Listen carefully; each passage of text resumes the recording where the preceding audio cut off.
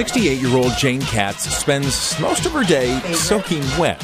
That's because this former Olympic swimmer is on a mission to keep her class of 60 and better seniors in shape and active, fighting the signs of aging. What's wonderful is for many of the seniors, even walking may be difficult on land. They may have had a hip replacement or a knee replacement, but in the water, the gentle massaging effect of the water and the circulation increases and they feel better right away. As arthritis, medical conditions, and limited range of mobility start to slow people down, Katz says seniors can skip the gym and jump into the pool to improve their health. In the water, I can run, I can jump. I can't do this on dry land. Let's do 10 jumping jacks and 10. But she's quick to point out that it's not just a bunch of splashing around or an excuse to buy a new swimsuit.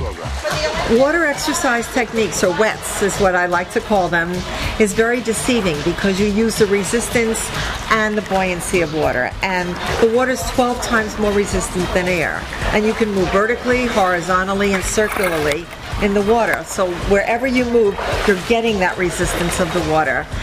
Katz has written more than a dozen books on water exercises, drawing on her experience as a world recognized competitive swimmer and educator in the field of gerontology and aging. She says there's a few things to keep in mind before you dive in. First step, check with your doctor. Water exercises, she says, will really get your heart moving. Next, always warm up by using a kickboard or just water walking to get your blood flowing.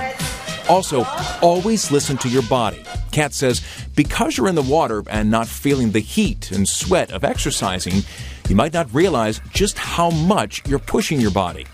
As for a routine, she tells her students two to three times a week should be plenty to get the benefits of water exercises.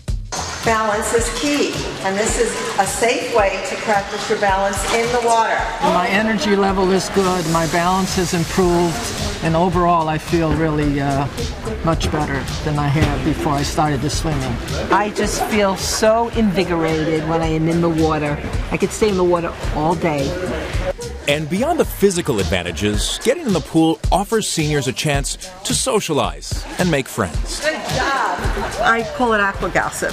You can just kind of chat about what your problems are. They don't go away, but you know somebody else has those concerns as well.